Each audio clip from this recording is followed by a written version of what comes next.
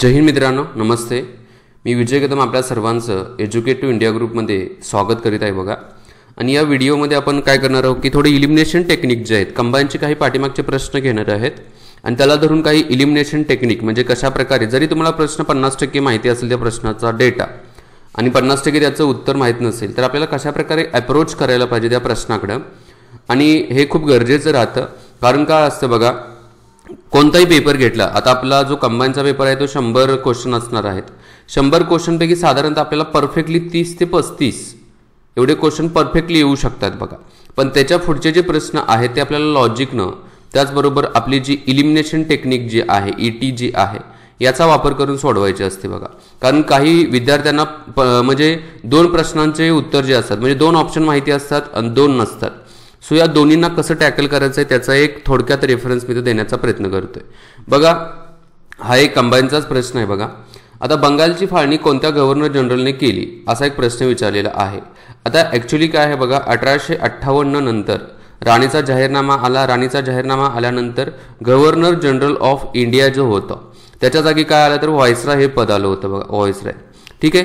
मग हे जी बंगालची फाळणी झाली होती तिथून पुढं व्हॉइसरॉय म्हणायला पाहिजे होतं पण इथं गव्हर्नर जनरल लिहिलेला आहे. ॲक्च्युली ही एक थोडीशी मिस्टेक मी म्हणेल इथं दिलेली आहे ती.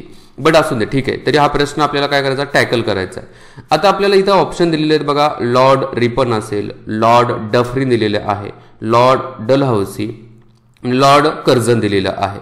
आता इथं काय करायचं आहे आपल्याला? फर्स्टली आता बघा अभ्यास करताना तुम्हाला काय वाचायचं आहे ते पण मी सांगेल. इथं जे दिलेले आहेत जे गव्हर्नर जनरल किंवा आपण याला व्हॉइसरॉय म्हणू तर पहिल्यांदा या व्हॉइसरॉयना व्यवस्थित बघायचं आहे. यांना वाचायचं आहे बघा. परीक्षेच्या अगोदर यांना वाचायचं आहे. आता याला चीट कोड म्हणजे याला आपण तुक्का पद्धतीने कसं सोडवू शकतो बघा.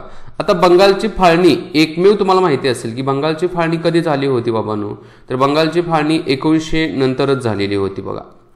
साधारणतः एकोणीसशे पाचच्या दरम्यान बंगालची फाळणी झालेली होती. म्हणजे सोळा ऑक्टोबर एकोणीसशे पाचला बंगालची फाळणीला अंमलबजावणी करण्यात आलेली होती. मग मुद्दा हा आला की तुम्हाला फक्त एकोणीसशे पाच माहिती असेल.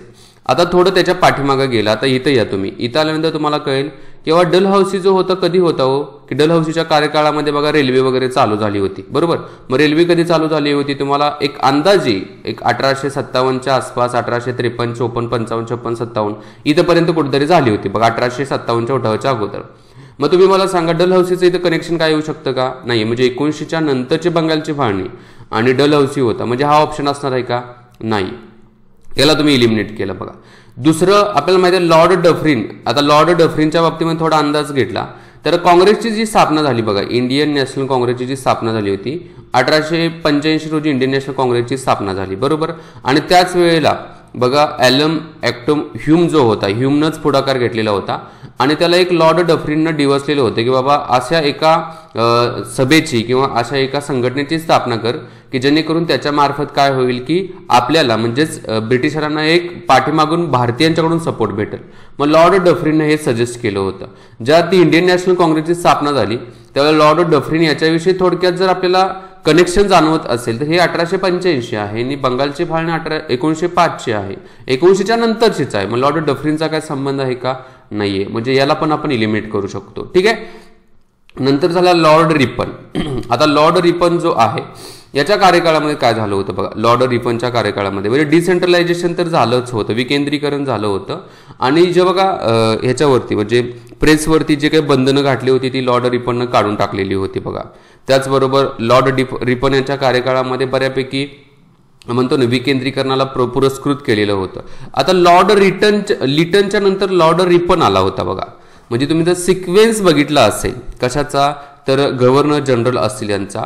तर सिक्वेन्समध्ये तुमच्या लक्षात येईल बघा म्हणजे अठराशे अठ्ठ्याहत्तर ते अठराशे ब्याऐंशीपर्यंत काय होतं तर लॉर्ड लिटन होतं. त्याच्यानंतर लॉर्ड रिपन आलेलं होतं बघा. काही ठिकाणी बघा अठराशे शहात्तर ते अठराशे ऐंशी दिलेलं आहे. ठीक आहे. आपल्याला फक्त इथं कनेक्शन लावायचं आहे. आता कनेक्शन लावताना आपल्याला कसं लावायचं आहे मग?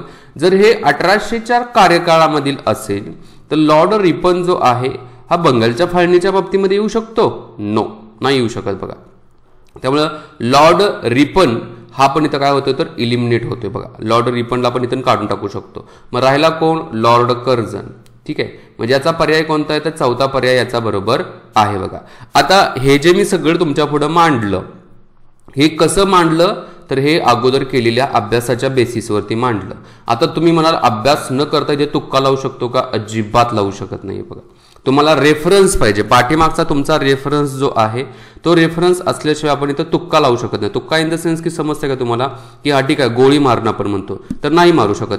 गोळी मारायची पण कशी मारायची? लॉजिकने मारायची. आता तुम्हाला लॉर्ड रिपन आणि लॉर्ड कर्जनी यांच्या बाबतीमधलं माहीत नसेल तर इथं तुम्हाला पन्नास टक्के तुम्ही आन्सरच्या जवळ गेलेलं आहे. फक्त पन्नास टक्के राहिलेला आहात. मग याच्यामध्ये तुम्ही काय करू शकता? थोडा विचार करू शकता बा ह्याला कधी काय ऐकलं होतं का? वगैरे वगैरे.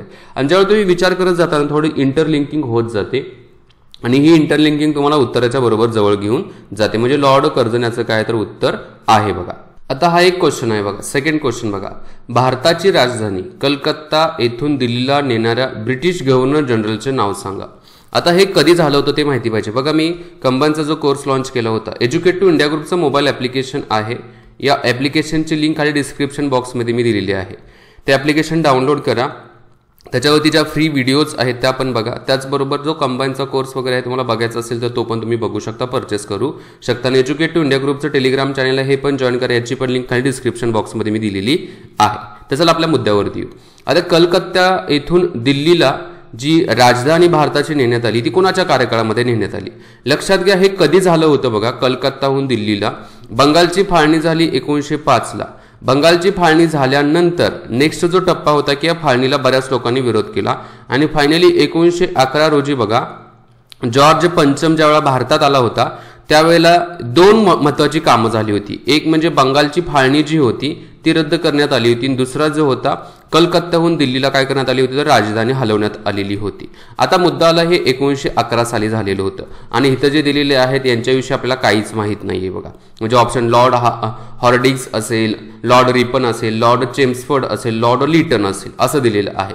आता इथं तुम्हाला यांची नावं माहीत नाही आहेत म्हणजे हे कुणी केलं हे माहीत नाही आहे पण बघा इथं तुम्हाला यांचा कार्यकाळ माहिती असेल. की बघा लॉर्ड रिपनचा विचार केला. मी म्हणलं लॉर्ड रिपन जो होता तो अठराशेच्या मध्ये होता बघा. मगाशी जसं बघितलं तसं अठराशेच्या मध्ये होता. म्हणजे अठराशे ऐंशी अठराशे पंच्याऐंशी ब्याऐंशी पंच्याऐंशीच्या अगोदर ब्याऐंशीच्या टायमिंगला होता. मग लॉर्ड रिपन असेल का हो? नाहीये. लॉर्ड रिपनच्या अगोदर लॉर्ड लिटन होता. हा पण त्यावेळेला असणार आहे का? नाहीये. राहिला मुद्दा लॉर्ड हार्डिग्ज आणि लॉर्ड चेम्सफर्ड याच्या बाबतीमध्ये. आता आपल्याला माहिती आहे एकोणीसशे एकोणीसचा कायदा जो होता तो चेम्सफर्ड मॉन्टिग्यू चेम्सफर्ड कायदा म्हटला जात. होता चेम्सफर्ड याचा तो चेम्सफर्ड एकोणीशे एकोणीसच्या कार्यकाळामध्ये होता. आता मग या लॉर्ड चेम्सफर्ड आणि लॉर्ड हार्डिक्स सेकंड या दोघांच्या मध्ये कोणतरी असेल. आता लॉर्ड चेम्सफर्ड याचा जो कायदा होता आपण एकोणीसशे एकोणीसचा भारत सरकार कायदा हा एकोणीसशे एकोणीसचा होता आणि ही घटना जी आहे ती एकोणीसशे अकराची होती. एवढ्या वर्ष म्हणजे एकोणीसशे अकरापासून एकोणीसशे एकोणीसपर्यंत कुठला असा गव्हर्नर जनरल एवढ्या वर्ष टिकला होता का? अगोदरचे टिकले होते म्हणजे वॉरन हेस्टिंग वगैरे. पण याच्यामध्ये एवढे नव्हते. मग एक अंदाज लावून आपण काय करू शकतो बाबा हा पण नसू शकतो. हा पण तिथं नसू शकतो. मग राहिला कुठला? Lord Hardinge. आणि हा तुमचा अंदाज जो आहे ना हा जे तुमचं लॉजिक आहे ना बरोबर असू शकतो. म्हणजेच लॉर्ड हार्डिकच्याच कार्यकाळामध्ये काय झालेलं होतं? ही कलकत्त्याहून दिल्लीला राजधानी नेण्यात आलेली होती बघा. हा एक मी म्हणलो काय की इथं पण इलिमिनेशन टेक्निक पुन्हा एकदा ही इलिमिनेशन टेक्निक तुमच्या अभ्यासाच्या बेसिसवरती तुम्ही लावू शकता. असं डायरेक्टली तुम्ही लावू शकत नाहीये. तुम्हाला रेफरन्स लावता आला पाहिजे. रेफरन्स लावण्यासाठीच तुम्हाला पहिल्यांदा थोडा अभ्यास असणं काय गरजेचं आहे बघा.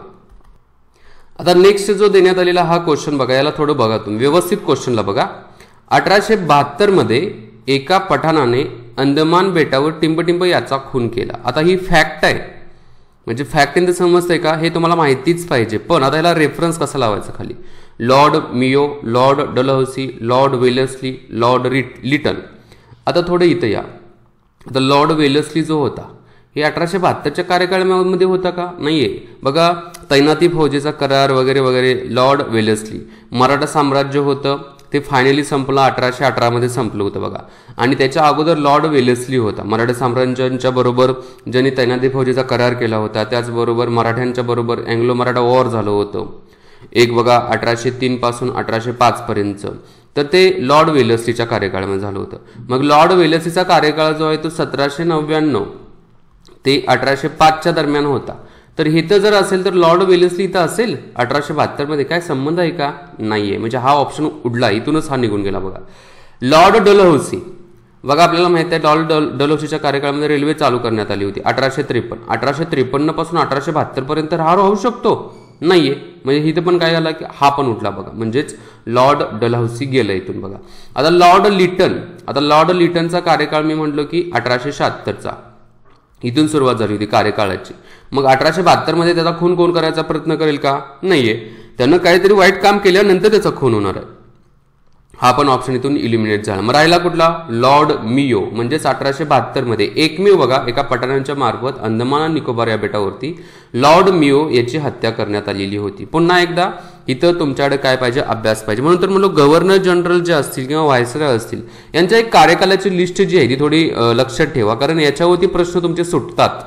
याच्यावरतीच प्रश्न तुमचे सुटतात. आणखी एक प्रश्न आपण बघू बघा. आता हा प्रश्न बघा. इथं काय दिलेला आहे? भारतात रेल्वेचे जाळे उभारण्याकरिता लॉर्ड डलहौसीने नियोजन केले. कारण का नियोजन केले होते बघा? लॉर्ड डलहौसीने केलं होतं. का केलं होतं? भारताच्या अंतर्गत भागातून निर्यातीसाठी कच्चा माल मिळवण्यात सहजता यावी. ठीक आहे? आता हे ब्रिटिशरांच्या दृष्टिकोनातून काय होतं? चांगलं होतं. म्हणजेच हा पॉझिटिव्ह दृष्टिकोन इथं मांडलेला आहे बघा. ब्रिटिशरांच्या बाजूने. आणि चालू कोणी केले ब्रिटिशरांनाच केलेलं आहे. त्यामुळं हा पर्याय असू शकतो. ठीक आहे? म्हणजे इथं कळलं आपल्याला अ अ बरोबर आहे. हा उडला इथून पर्याय बघा. हा ॲटोमॅटिक निघून गेला. ब्रिटिश भार भांडवली गुंतवणुकीवर नफा कमवण्याकरता मार्ग उपलब्ध करून देणे देण्यासाठी. हा पण काय आहे? पर्याय पॉझिटिव्ह बाजू दाखवत आहे. कारण काय आहे? ते ब्रिटिशरांच्या दृष्टिकोनातून पॉझिटिव्ह बाजू दाखवलेली आहे. म्हणजे हा पण पर्याय असू शकतो. ब पण असू शकतो बघा. ठीक आहे? म्हणजे ब असेल तर हा पर्याय इथून उडला बघा. आता बघा भारतात स्वस्त व सहज वाहतूक उपलब्ध व्हावी याकरता. तुम्ही हा पर्याय बघितला भारतात स्वस्त व सहज वाहतूक उपलब्ध व्हावी याकरता. आता हे ब्रिटिशरांनी भारताच्या दृष्टिकोनातून पॉझिटिव्ह विचार केला. असं होऊ शकत होतं का? नाही आहे कारण ब्रिटिशर्स भारताच्या दृष्टिकोनातून भारतीय लोकांच्या दृष्टिकोनातून पॉझिटिव्ह विचारच करत नव्हते. त्यामुळे हा पर्याय काय आहे? तर चुकीची दिशा दाखवत आहे. म्हणजे हा निगेटिव्हिटी दाखवत आहे ब्रिटिशरांच्या दृष्टिकोनातून. जर हे पॉझिटिव्ह पॉझिटिव्ह दाखवत असेल हे निगेटिव्ह दाखवत असेल तर हा ऑप्शन नसणार आहे. म्हणजे इथं क कुठं आहे बघा इथं क असेल तर हा पर्याय चुकीचा आहे. म्हणजे पर्याय कुठला बरोबर आहे? एक आणि दोन. अ आणि ब हे दोन्ही बरोबर आहे. कळली का तुम्हाला हे टेक्निक अशा पद्धतीने जाणं काय गरजेचं असतं बघा. ठीक आहे? तुम्हाला आणखी वाटलं की आणखी अशा इलिमिनेशन टेक्निकच्या व्हिडिओ याव्या तर तुम्ही नक्कीच काय करा खाली कमेंट बॉक्समध्ये मला सांगा.